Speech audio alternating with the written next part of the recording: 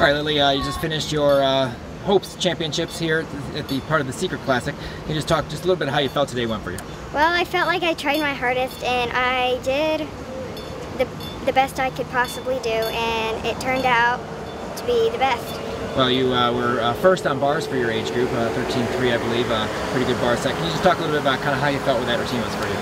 Um, I felt really glad that I hit that routine and I was very happy with what I did and I tried really hard and it turned out great. Coming into this competition, what were your goals and do you think you met your goals and expectations here? My goals were to hit all four events and have four for four and no falls and I met those expectations. Well, coming in here, obviously, you don't get uh, to prepare for the podium because there's no training for the Hopes kids here. Uh, kind of what was it like out there, getting out there for warm-ups and uh, being up there in that podium and kind of that big arena? Well, it was a little hard. and the bars were a little bouncier, and but it took me a while to get used to it. But after probably the second turn, I got used to it, and it was fine. What do you think you, that stood out today for you and you're most proud of, it, of your performance? I am most proud of my bar performance because I hit my routine and I did the best I could possibly do. what are you taking away from this competition that's going to help you down the future?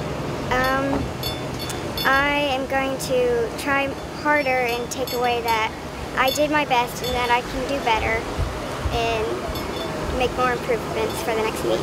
Well, you're going, uh, coming out of this this Secret Classic, what are your goals and expectations, and what are you what are you looking for from yourself from uh, next year and down the road? I am hoping to try Junior Elite next year and make the road down to Junior Elite and just try my hardest. And then uh, any anything you can give us in terms of upgrades or anything you're working on in the gym that we could see in your routines next year? Um, well, I am working upgraded layouts on vault and upgraded dismounts on beam. And then I, am anticipating that you may do level 10 this year? Yes. Trying level 10, and hopefully, uh, what's, what's some goals you have yourself maybe for the level 10? Uh, for level 10, I hope to make nationals, Eastern Nationals, JO Nationals. Well, Lily, congratulations. Thank you.